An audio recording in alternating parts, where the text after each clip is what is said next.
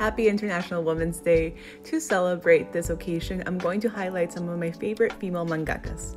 Let's start off with Naoko Takeuchi. I mean, it's pretty obvious that I love Sailor Moon. I wouldn't dedicate a whole portion of my collection to one female mangaka if I didn't love her. Maki Enjoji, freaking queen, love you. Suu Morishita, the iconic duo, love you both. Rie Aruga, you make me cry, but I love you. Natsumi Ando, you make me scream, but I love you. Underrated mangaka, Kujira. I wish this was available in English. Yuki Suetsugu, I mean, look at those covers, they're beautiful. Mafuyu Fukita, thank you. Thank you for Kiritani. I mean, this whole shelf is female mangakas. I love you for providing me good spot. Natsuki Takaya, I mean, come on. We love Fruits Basket here. Julietta Suzuki, love you as well. Sorata Akiduki, I love you, and I love Shirayuki.